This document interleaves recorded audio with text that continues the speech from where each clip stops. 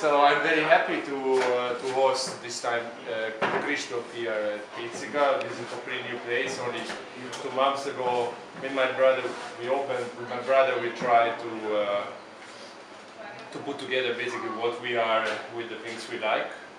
And uh, I'm very happy to have Christoph here for several reasons. So we had the chance to meet uh, really long time ago. Uh, I mean, seven, I'm here since 10 years. So I think at least, I guess at least eight, nine years ago we met first time. Uh, we spent amazing nights in the same uh, places, uh, like Vitura for example. I think Vitura was the first place where I met him. I was uh, working with, with music, he was working always with art. Through him I could meet a lot of interesting people, so I thank him for that as well. Uh, I knew that he was working with art, with uh, uh, some caps, let's say, but I knew it before that he was dealing with poetry, so because I always see him in a corner with his uh, little book writing down things. Uh, for very long time I couldn't see what he was writing after he was showing me, showing me and I got a bit shocked about that. So uh, shock usually for me it's a good uh, feeling. And uh, I don't want to take uh, waste a lot of your time. So uh, a really welcome from, from me and from my family. Christoph here at Pizzica is the third uh, exhibition we have here. So I, I guess ad maiora. Grazie. Akkor most lehet. Thank you.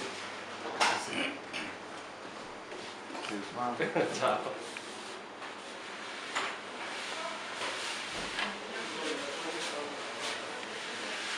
Uránuszi macska köt. A folyamat az igaz. Hagyd a szart a légynek, a fényben elégnek. És az ének szirér hangjai utolérik a végtelen.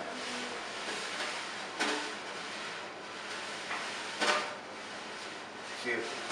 Circus. Look it up. And so on, and on, and on. So come on, oi, oi, destroy. Who? Yes.